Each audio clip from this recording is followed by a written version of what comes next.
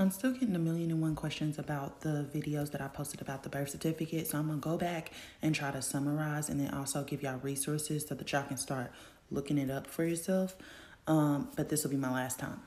So this all started with the Cestui Que Vie Act of 1666. Look it up and I'll put um, the name on there so y'all can look it up.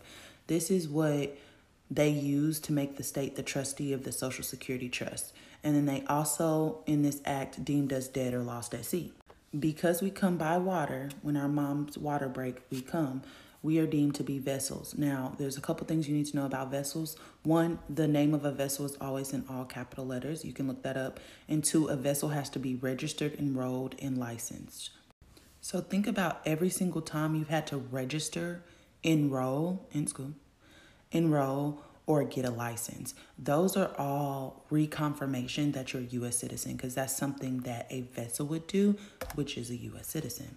So when your mom had you, she gave you up as an informant to the state, letting them know a new vessel had arrived on their territory. And there's something called the Abandoned Shipwreck Act. Because we're deemed dead or lost at sea and we're vessels floating out on the dead or lost at sea, right?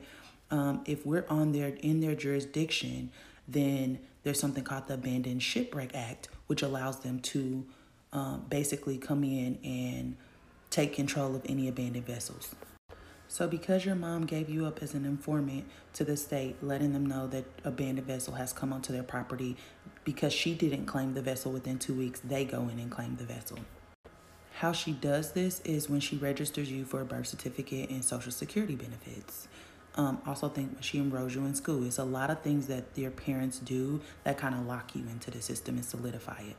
The only reason why you go to public school and the only reason why it's called public school 1 through 12 is to teach you how to operate in the public, meaning like in commerce, because the difference is is moving to the private instead of being in the public. So the state acts as the trustee of the trust and you are the beneficiary.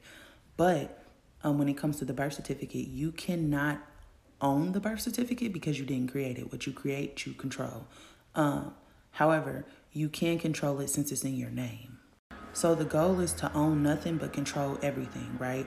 Um, and that's what's happening right now. The only difference is everything that you own is in a trust, which is a Social Security trust, and it's owned or not owned but controlled by the state. So what you want to do is put it in your own trust and put it in your own situation so that you can then control it because what you create, you control. So how do you start the process for this is called authenticating the birth certificate. That is what you do. Like that is why you're doing it, right? So when you move it into your own trust, you still don't own anything. The trust owns it, but you don't have any liabilities because you only have liabilities when you own things.